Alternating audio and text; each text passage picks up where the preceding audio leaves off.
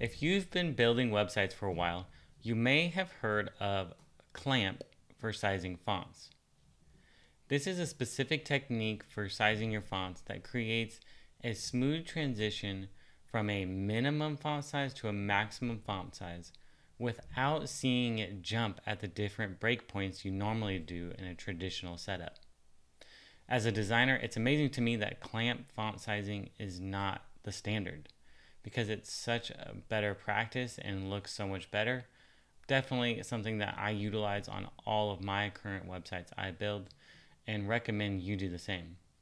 So today I'm going to show you exactly what it means and how to set it up for your website. All right, so on my starter site, I have a style guide and on this style guide lays out the different headings and styles for uh, my website. And so these are set up globally, and this has clamps font sizing enabled and set up for it already. So I just want to show you as I start to decrease this browser window, you're going to notice that the headings slowly but surely get smaller, but they transition and scale at a smooth rate rather than jumping to a certain pixel size at a specific viewport. And so again, as you see, as I grow this window larger, the text gets larger on its own. And so this is the beauty of clamp. Uh, you know, it, it creates the maximum and the minimum, and every viewport width in between that scales it accordingly to the window size. So now in a traditional setup here on my demo page, you'll notice that I have set up a desktop font size, a tablet font size, and a mobile font size. And as I begin to now scale this window, you'll see it'll go from desktop to tablet. Do you see that? It jumped down to tablet size and then again for mobile. So you say jump to tablet and jump to desktop. And so really there's only three font sizes that this copy is changing for. Um, whereas in Clamp, there's sort of infinite amount of font sizes because it's scaling across every single different viewport with without jumping at specific breakpoint. All right, so you might be wondering, that's awesome. How do I use it? That's what I'm here to show you today and explain a little bit behind how this works. So when you jump into your customizer in GeneratePress and go to your topography panel, you'll notice in traditional setup, you'll have headings set up here where you enable the element uh, H1, the family, the font weight, font size, uh, and toggle at each viewport breakpoint for desktop, tablet, and mobile and change that font size accordingly. But with clamp, we do not want to do that. All right, so what we need to do instead of setting up exact values for our font sizes at each breakpoint is go ahead and determine the clamp value for these and replace it directly here in the customizer. Now, the clamp tool that I always use to create my values is this little cheat sheet calculator um, from marcbacon.com. It's a clamp function calculator. And so let's walk through some of this. When you see now at the top, you can choose between pixels or rems. Um, and you'll see it helps you understand what a rem is. So pixels, 16 pixels is equal to one rem. And so as you determine your values, um, you can try to work with rem a little bit easier that way by doing the math. So one rem, 16, maximum two and three quarter is about 40 pixels roughly, I think, 44.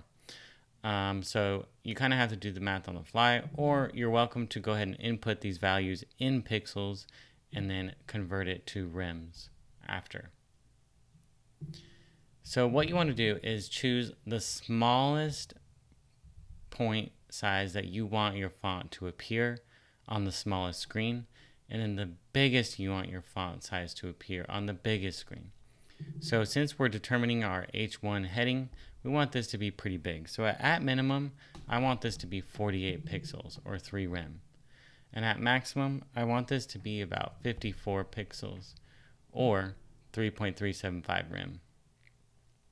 And so what this is telling us is that at 600 pixel width screen or smaller, it's never going to get less than 3 rems. And at 1440 pixel viewport width or larger, it's never going to get bigger than 3.375 rems. So you can go ahead then and copy this first line of your clamp, come to your customizer and delete out the 54 that I have in here and paste in your clamp size. Now you're going to want to go ahead and insert this on all three breakpoints just so that it does not get overridden by the previous values that you had in there originally. Now we can go ahead and do the same for our H2s. We want our H2 to be no bigger, or excuse me, no smaller than, uh, let's say 2.25 rem and no bigger than 2.75. So now we can go ahead and copy that clamp value, come over to our H2 in our topography panel, and replace these values with our new clamp. Perfect. So now we can go ahead and publish that, exit out, and let's start to see as we scale our page how our font on our H1 and H2, which this is our H1, this is our H2, see how these begin to scale responsibly and more fluid, smooth way instead of these harsh breakpoints getting larger and smaller. Now keep in mind you can also within GenerateBlocks insert clamp sizes within the topography settings on a headline specifically.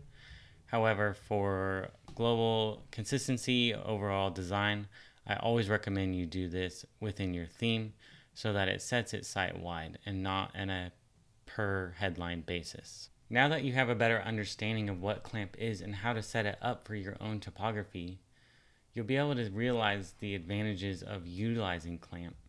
There's really no way we can target every single viewport width and set a font size for it, and that's why clamp exists. I'll go ahead and leave a link to that clamp calculator in the comments. Thanks so much for your support, and we'll see you again soon.